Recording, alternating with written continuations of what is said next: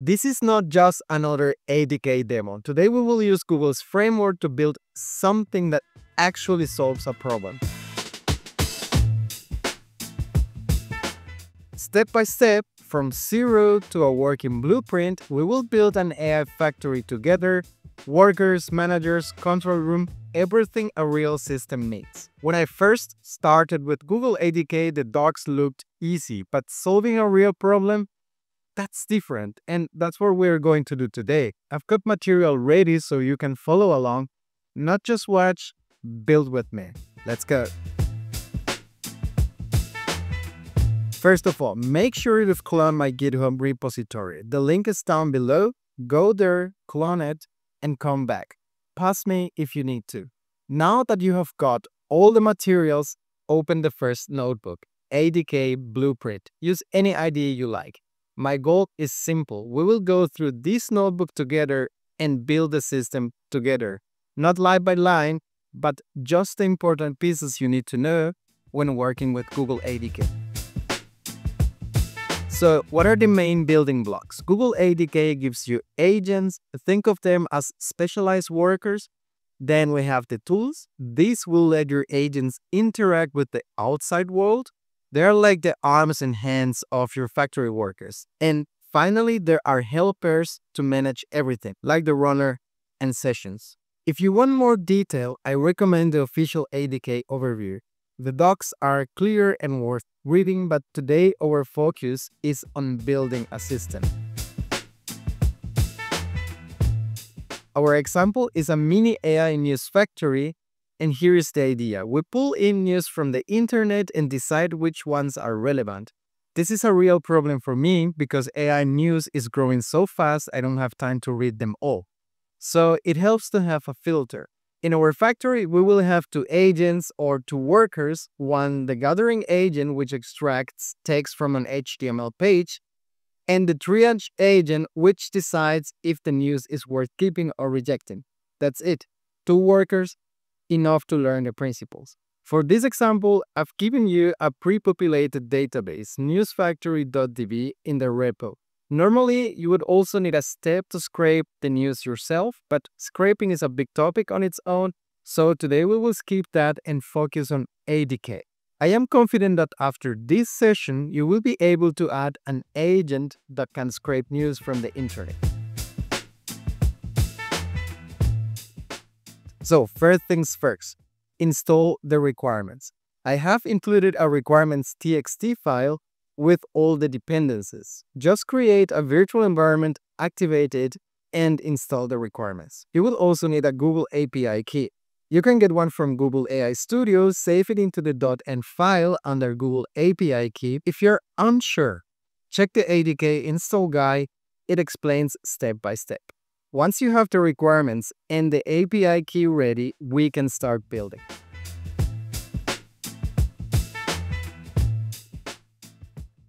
But before we build anything, we need to define our outcome. Think about the problem you want to solve. What process do you want to automate with Google ADK? I have even prepared a small cheat sheet to help you define your outcome. Let's do it very quickly for today's project. It will extract text from articles and auto-triage stories, approve or reject.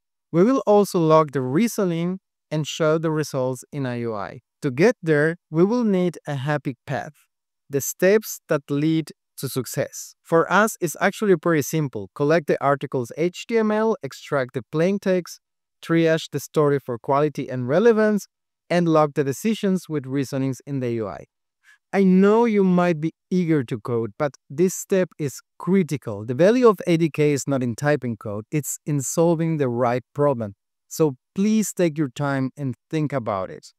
Once you have your outcome, sketch your pipeline. In our case, the pipeline has just two steps.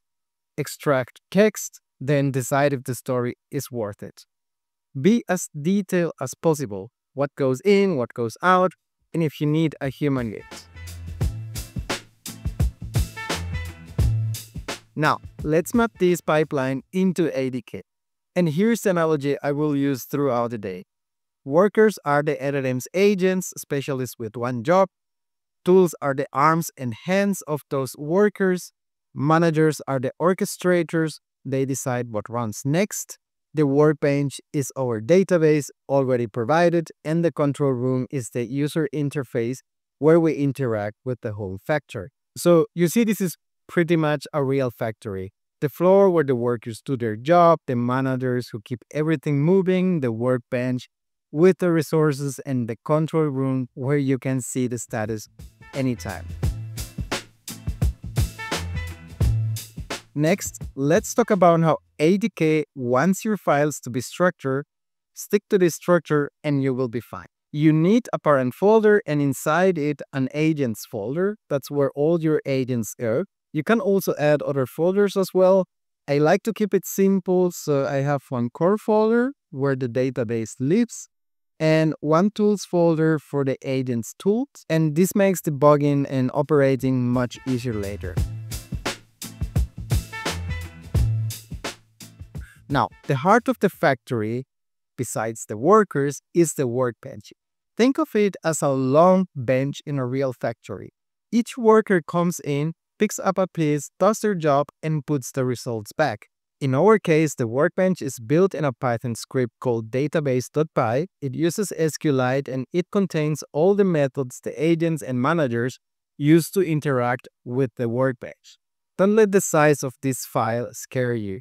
It's part of a bigger project I run with 15 to 20 agents three times a week. I didn't strip it down for the tutorial, and I hope you can forgive me.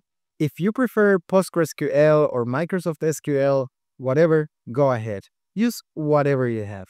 If you don't have anything yet, you can use my SQLite setup as a starting point. Now let's take a look at the overall diagram. So you can see here we have the factory manager, the workbench, the specialist 1 and the specialist 2. We're going to focus on the gathering agent for now, and this works this way. The factory manager goes into the news items table, selects the ID, the sanitized HTML, everywhere where the status is equals near. Then it gives this information to the gathering agent who is going to extract the text and give it back to the factory manager. The factory manager then takes this and updates the same table news items, set the status to info complete, and put the full article text and the notes. Now, you might ask, why not let the agent pull and push directly from the workbench? And here is why. In AI factories, everything that can be done deterministically should be done deterministically. Agents are terrible at that. They should focus only on one task, nothing else.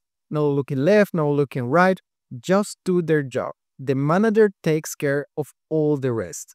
We will see the triage workflow later. For now, the key lesson is this. When you design a system, you must be crystal clear on how workers and managers interact with the workbench. This might feel tedious, but it's critical. If you want a system that solves real problems without frustration, you need to be clear about these interactions from the very beginning. Also, now that we know how the workbench works and what each worker should do, it's time to hire our first AI worker. Yes, finally the coding part begins. In Google ADK, creating an agent means following a small structure. Inside your agents folder, create a subfolder for the worker. For example, gathering agent. And inside that folder, you need two files, the init.py to make it discoverable and agent.py where the agent actually lives. The first worker is super simple and doesn't need any tools. We will call it news gathering agent. Its job is get an HTML page and extract the plain text. For this, we don't need a fancy model. I use Gemini 2.0 Flash. It's cheap, fast, and reliable. You could also use a local model if you want. The task is super simple now, we give it a clear description, extract verbatim plain text from sanitized HTML, and then very clear instructions. Your task is to extract the plain text content from the provided HTML. The HTML content will be given in the prompt. Your output should be only the extracted plain text without any additional formatting or commentary. If you cannot find any text, return an empty response.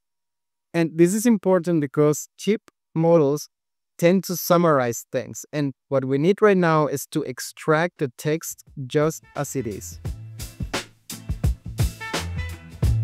Now let's take a look on how we plan the triage agent to work. And in this case, the manager goes to the data bank to the news items, selects the ID and the full text article. Everywhere where we have info complete, it gives it to the specialist. And now, compared to the first agent, the specialist goes directly to the data bank and saves its results. So it goes to the news items, change the status to flagged for review and make the recommendation and the explanation why it makes this recommendation. Let me be clear about this. This is not best practice. Normally, the manager should handle deterministic steps. Giving that responsibility to the agent adds cognitive load. It can lead to errors, even the horrible 500 error, and you will end up searching for bugs that are not easy to find. But for the sake of this tutorial, I want to show you how tools work with agents. So in this example, we will let the triage agent write directly into the workbench. So first we will build our tools. Start by creating an init.py file inside the tools folders. Now, here is something super important. The docstrings. In Google ADK, docstrings are not just documentation. They are transformed in the backend into instructions for the agent. So you need to be super precise. Explain clearly what the tool does, what arguments it needs, and what it returns. In our case, we build the tool submit triage decision. It takes the arguments we define, passes them into the database method, submit curation recommendation, and then confirms if it worked. The agent sees that result and we also see a log message printed out. Once we have our first tool, we give it to the agent. That means we create a triage agent folder and add an init.py file and then the agent file. This time the agent needs to be smarter. So I'm choosing 2.5 flash because it's still cheap and delivered the results I'm expecting. So we need to put the description and then we need to go very, very clear on the workflow.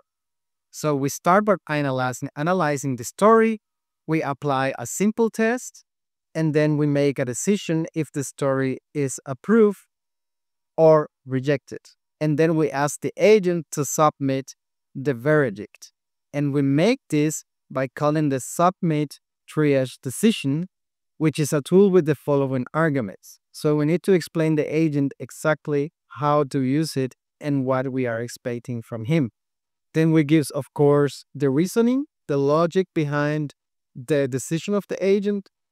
This is where you will need to spend some time tuning it and making it yours.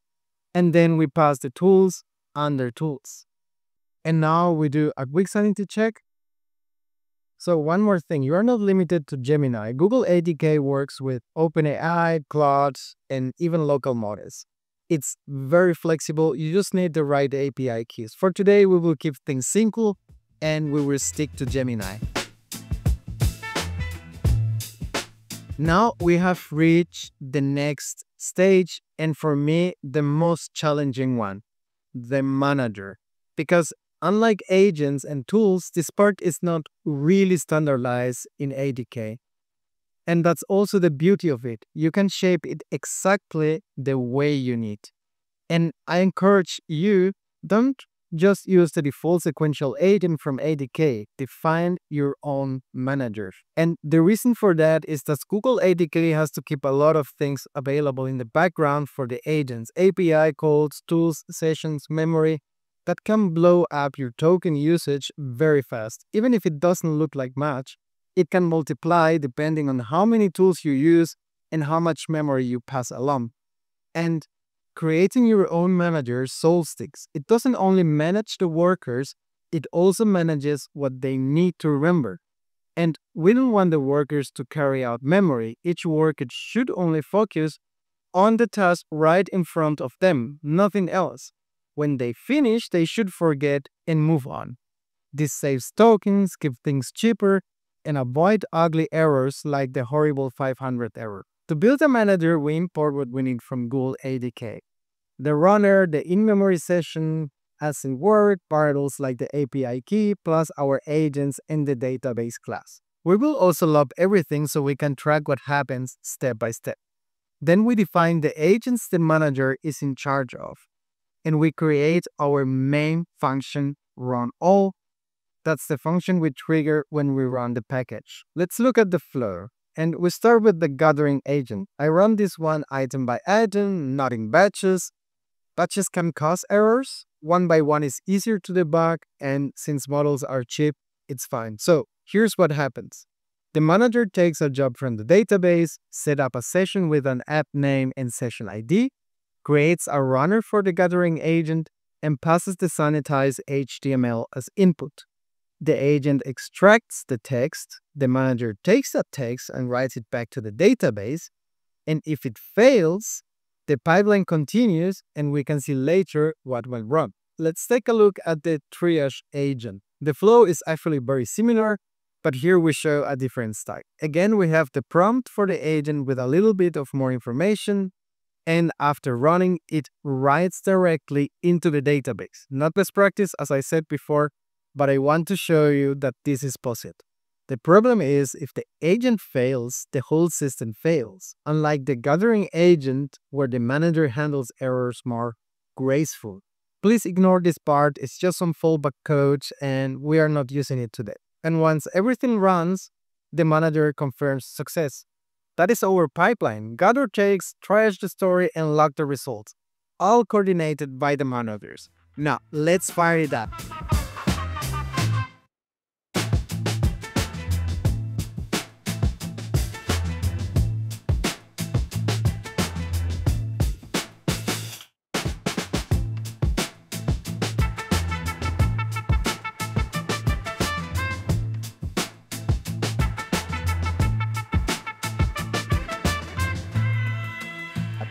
Review it. We see all the 15 news with the AI suggestion. I can change the position. I can change the status. I have the full text of the news and the reasoning of the AI what this article is actually flagged as a suggestion. This is so cool. This is awesome. And it took like, uh, actually, like three minutes, something like that. We've just built a system of AI agents that solves a real life problem and now it's your turn because ADK is super flexible. You can connect to any database, run it in the cloud or locally, choose any model you like, Gemini, OpenAI, even local ones, and ADK handles the heavy lifting for you. If you have an MCP server, you can even connect ADK with MCP tools the possibilities are huge. And this is only the beginning. When you are ready to go further, don't miss my next video. I will share every mistake I made so you don't have to, and you will be building 10 times faster. If you find this helpful, don't forget to like and subscribe. Thanks for watching and see you in the next one. Bye.